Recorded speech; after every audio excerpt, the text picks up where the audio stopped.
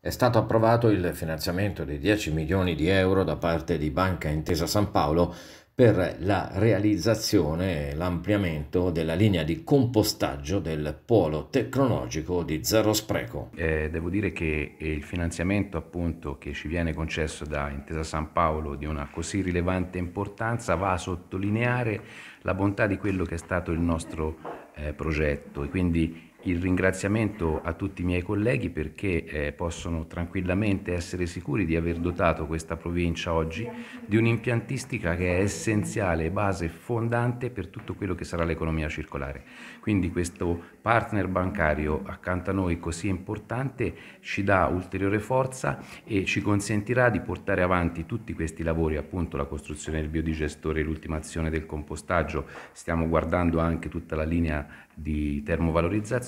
ci consentirà di portare, come dicevo, questi lavori avanti senza andare a pesare sulle tariffe, che mi sembrano già abbastanza gravate da quello che è il sistema ARERA, che è un sistema profondamente sbagliato e che spesso va a ripartire su tutte le teste, su tutti i cittadini, le inefficienze appunto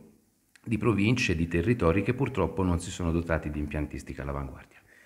Dunque, è, diciamo, qual è la notizia? No? Perché per questo vi abbiamo convocato e vogliamo parlarne. Perché di fatto avere un finanziamento da 10 milioni di euro dal, grande, eh, dal secondo più grande gruppo bancario italiano, in un momento come questo e con tutte le eh, fuoco di contraerea che è stato fatto nei confronti dell'impianto da più soggetti, significa solo due cose. Che AISA Impianti è credibile e che questo progetto è un progetto importante per una collettività, ma importante anche perché fa prefigurare bene un